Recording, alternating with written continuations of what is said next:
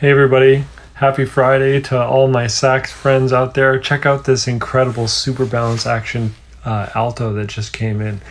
It's a 40,000 serial number. Of course, as you can tell from this video, it's really crispy, original uh, cellulose lacquer. It's in amazing condition.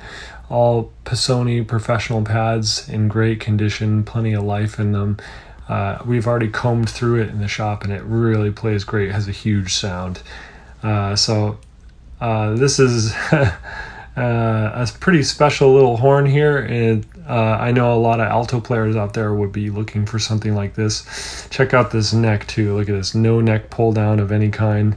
It's just completely original and undamaged, which is really, really hard to find in a horn of this vintage. And it's just kind of a, a, a nice, beautiful instrument. And uh, it's going to be up on the website for sale at 8500